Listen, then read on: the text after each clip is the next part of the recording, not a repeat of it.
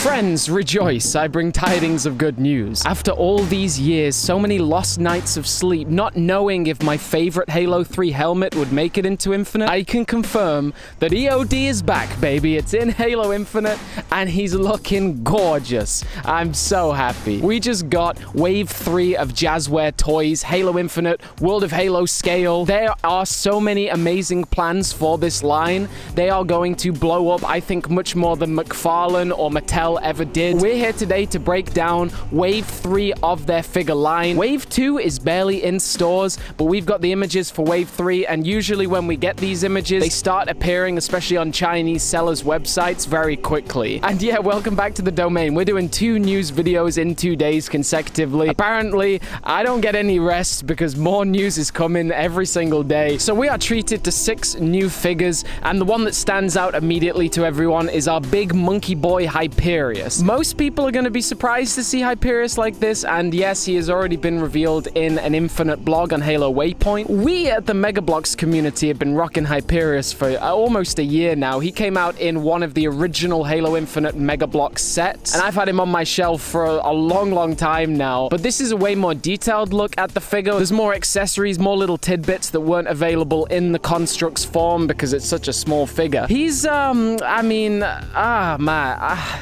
I'm going to make a separate video on this, whether he has actually killed Spartan Locke. And we've seen this in Mega Construx form on the Halo Waypoint blog and now again. It's clearly Locke's helmet. I just don't think 343 would play Locke that way. I know that the Spartan is a big unpopular one in the community, but I, I just don't think 343 would do him dirty like this. I think it's more just a cloud and smoke kind of game. I don't think they're going to kill Locke off in toy form, you know. I think it'll be done, if it is done, in a much more dramatic way. So let's hope hope that's not Locke's helmet, but he also has some Spartan's fingers as a necklace, which is like a weird tribal thing. I'm all about it, but I just don't want to see one of my favorite Spartans get killed. Yes, Locke is one of my favorites. Fight me. I'll fight you all. I'll fight like 90% of the Halo community. My gosh. After our Monkey Overlord, we've got two more banished figures. An Elite Minor, which is really nothing special aside from being an amazing army builder. In terms of large-scale figures, we haven't had a low-tier Elite Minor figure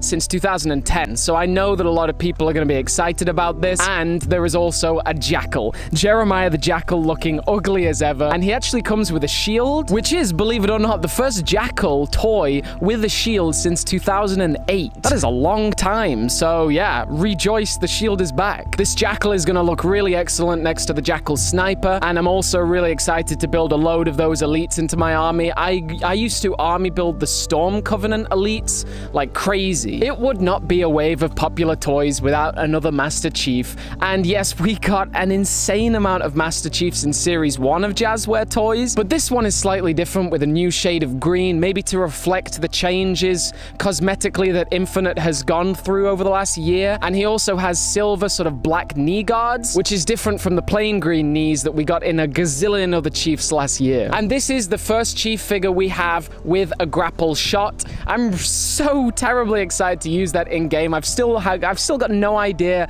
how the physics of that thing could work, how it could launch this bite like titanium robot through the air, and it actually looks quite oversized, which makes more sense. It is quite huge on this figure. Which brings us on to the two other Spartans in this set, and they are amazing. The first one I thought it was a Trailblazer. We've seen Trailblazer Spartans in Mega Bloks so far. But no, this is something else. You can see the cylinders on its helmet are a little different from Trailblazer. So I don't know what armor this is. He looks a little strange.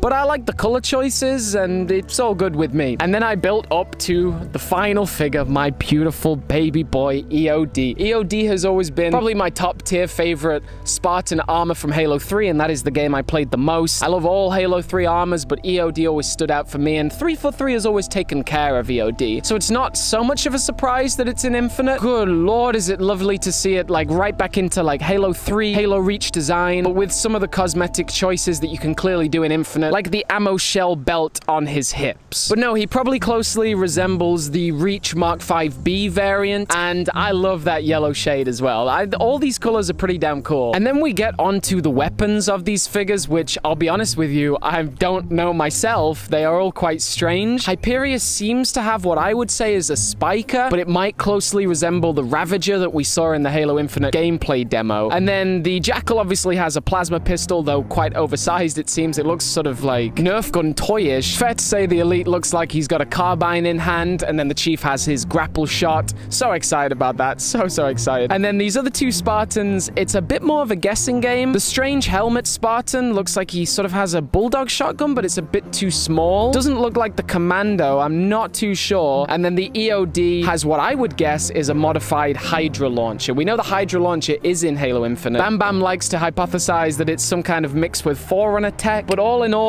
I love to see that Jazware is getting support to already release a third wave of figures, and they are definitely going to be sizing up to the legacy of McFarlane Toys. They're also releasing loads of figures from past generations. I'm all about that, and I wish Jazware the best of luck. If we all support them right now, then we are guaranteed to get like full-scale Pelicans, full-scale Falcons, anything like that. The three and three quarter inch scale is perfect for vehicles. So let's go out to our toy stores and support Jazware. The sun's coming out for Jazware at the end of this video. Thank you very much for tuning in today. Please let me know if this is the kind of video you enjoy. I love making these sort of news headline videos by the water, and this is the second video in a row. You can check out yesterday's where we go over the new 20th anniversary poster for Halo Infinite, which I think confirms Prometheans in Halo Infinite, so check out that video. Signing off, we're gonna go get some breakfast.